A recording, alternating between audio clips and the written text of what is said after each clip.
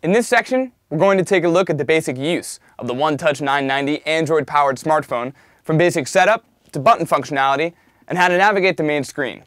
So let's get started.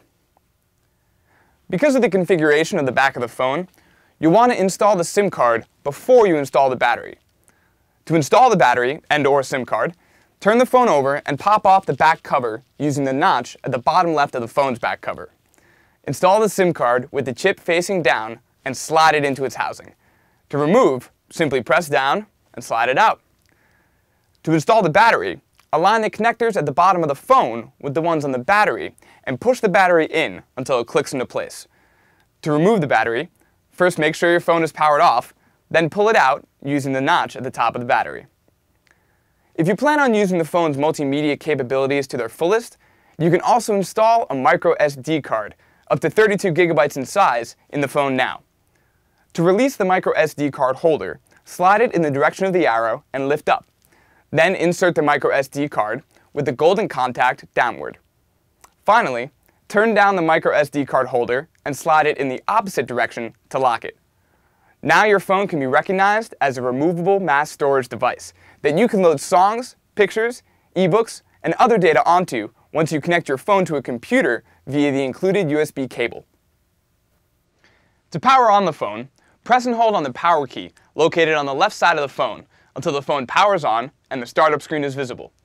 To power off, press and hold the power key, then select Power Off from the phone options. Once the phone is on, to make a call, touch the phone icon and dial in the number using the touchscreen keypad, then touch the green phone icon. As with all Android platform smartphones, when setting up the OneTouch 990 for the first time, users will have to sign in or create a Google account.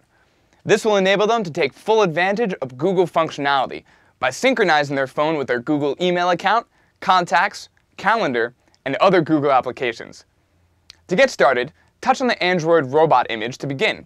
Then follow the step-by-step -step instructions to log in or set up a Google account.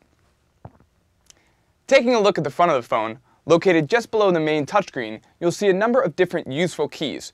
These include, from left to right, the menu, search, and back keys. Below these keys is the home key button. Hit this anytime you want to get back to the main screen.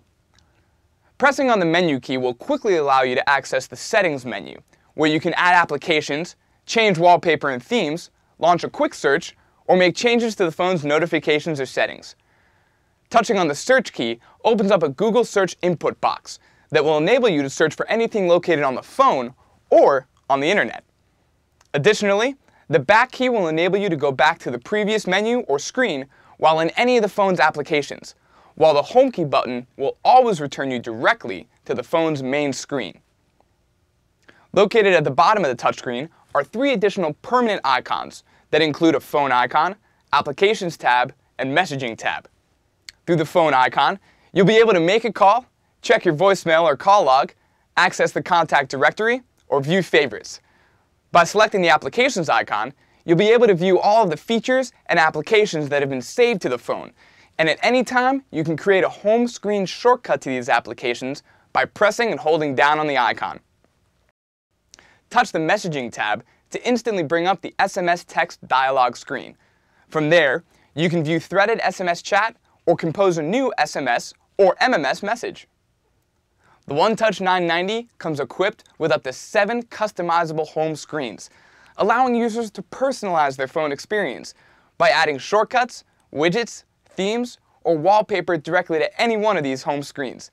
And you could remove or reorder the shortcuts to your liking at any time.